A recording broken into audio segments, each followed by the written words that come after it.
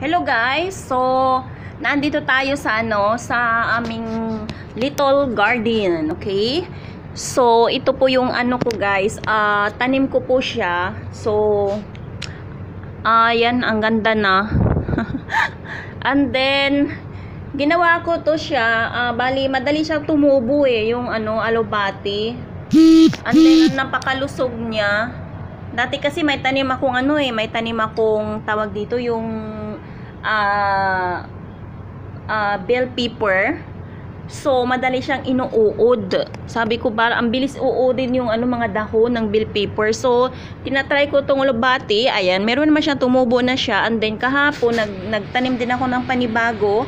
Sana magiging okay ito para at least ah, meron tayong, ah, madami tayong ano, kung sakaling pwede na siyang ma-harvest natin. O, di ba? So, medyo basa-basa pa ito kasi ano eh, umuulan kagabi.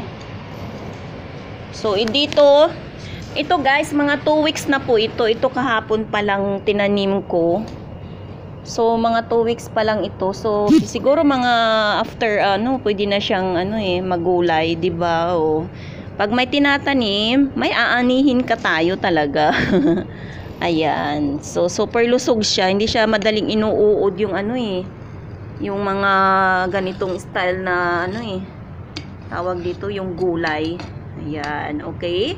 Ayan guys, sinishare ko lang sa inyo. Kaya, an, ang ulubati din, mabilis siyang tumubo.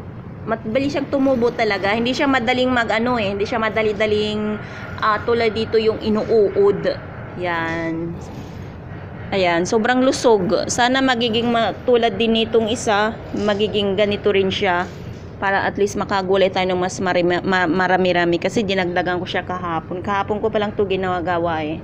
Ayan, ito po yung ating little garden. Okay? Ayan, thank you for watching. Bye-bye!